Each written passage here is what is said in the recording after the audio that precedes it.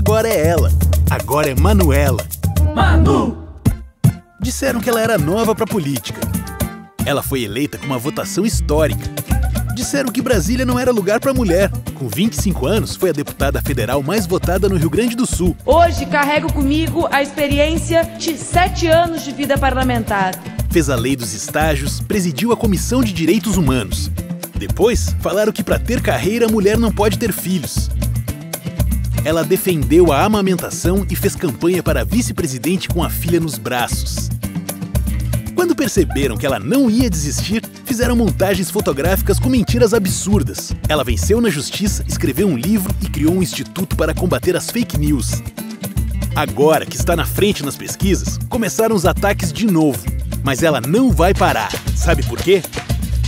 A força que me faz seguir em frente é a força de cada uma e cada um de vocês que não se conformam com as injustiças e as desigualdades. Eu acredito que é possível mudar Porto Alegre. Vem com a gente.